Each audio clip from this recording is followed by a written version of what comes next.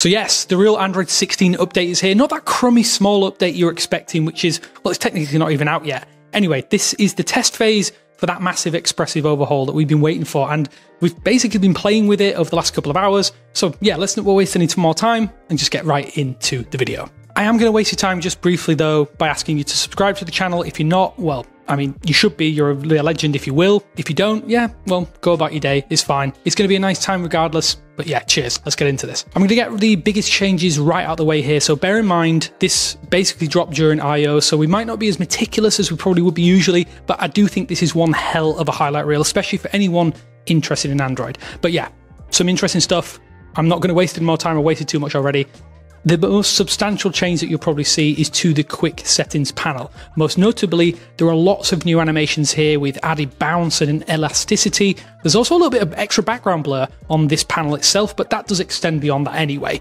The layout is now better at what I'd describe as snapping similar sections together or similar notifications for applications, all that kind of stuff. And when you dismiss a notification, it has a really lovely little bounce and it'll unstick from your thumb before disappearing into the ether you probably spot the new bottom panel buttons as well. These are much, much larger than they are in Android 15, with the notification history on the left and a massive clear all button plus a notification settings button there if you want to make changes here. So the biggest change is the brand new toggle section. The pills that we've known to come and love since Android 12, they stick around, so you have four of those to begin with in this layout, but they are changed to smaller buttons beneath this, which means you can have 10 when the quick settings panel is fully extended.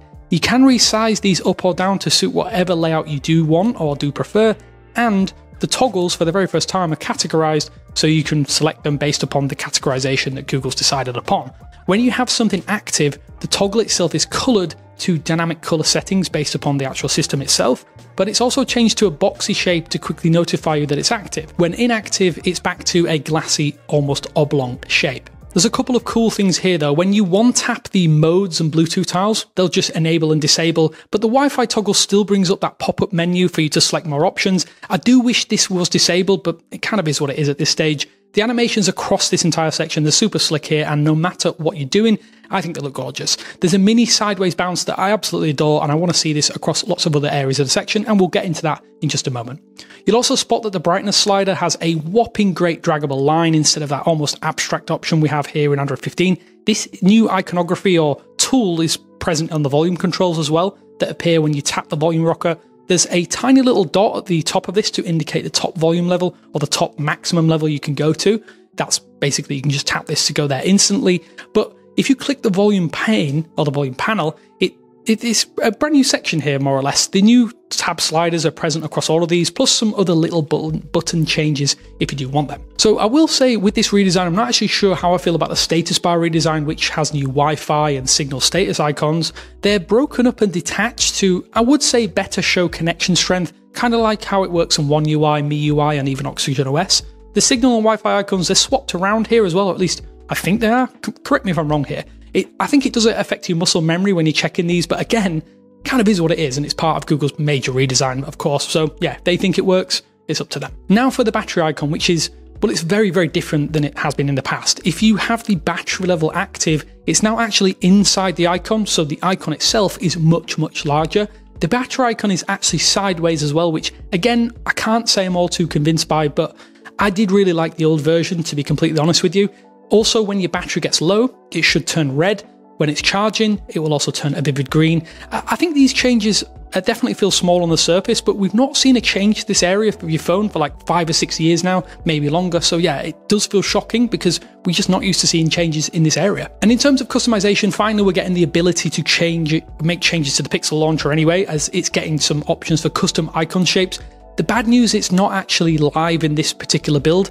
Themed icons is the only toggle within this section, but the wallpaper and style app sort of alludes to this or almost leaks it by just showing the circle and default before you tap this. But yeah, nothing live here yet if you were hoping for that. So we're probably going to see this in the next beta update. So yeah, stick around if you do want to see more in terms of the theming options with the default Pixel launcher. The thing is, the entire wallpaper and style application has had a major overhaul. It's full of what I consider lovely animations, with the shortcut section being better organized. The whole thing is improved in I'd say the right ways, but it can be a little bit buggy. At least it doesn't always work perfectly because this is a beta after all. One tiny thing literally that you might notice is that the at a glance widget has shrunk here ever so slightly.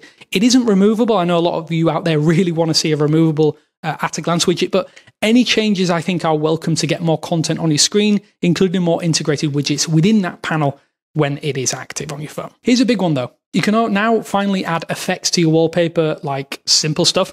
For instance, a shaped cutout or even fake weather effects like snow, fog, rain, sun, and even mimic the local weather to your location. The subjects on the wallpaper should react to the conditions, like snow buildup on uh, maybe like my pet dog here, for instance, or shimmer from the sunshine when it's shining outside. It's, I do think it's sort of cringeworthy, probably in the best way in terms of like software builds, but in at least in terms of giving you options, you can just choose a photo, tap the effects, get started, and add that customization that probably has been missing from Pixel Launcher. Also, the new system font is, you probably noticed from this video, a lot more bubbly. I'm not exactly sure of the font that's used here, but it is 100% giving me Comic Sans vibes, for better or worse in a lot of ways. You tell me what you think. I think it's a bit cheap if I'm being completely honest with you, but yeah, it is what it is. If you're like me and you use a recent app almost too much? Well, you'll notice there's some changes to the layout here, including little tap drop down header toggles and name labels, which allow you to quickly do app ac- actions like enter split screen, pause the application, take a screenshot of the app itself, and all of that jazz, including the option for freeform windows on Pixel 9 Pro Fold, which, correct me if I'm wrong, actually appears to be live by default here. I'm actually not 100% sure. Let me know down in the comment sections below if you're a Pixel Fold user. Also, if you are using a fold, the dock has a really gorgeous new animation that swooshes in when you open this section. The screenshot on select tools, you'll notice these have proper buttons as well with oblong holsters.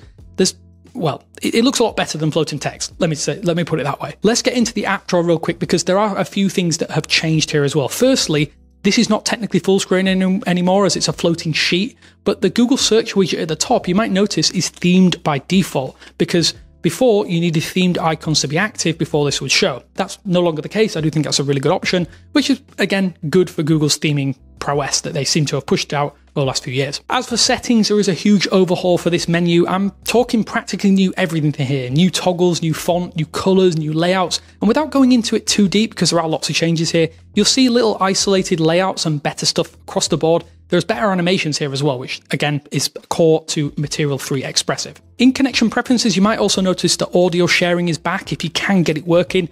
Maybe it'll finally launch with Android 16 QPR1 whenever it's ready. But yeah, it has shown up a few times over the past couple of years on plenty of betas.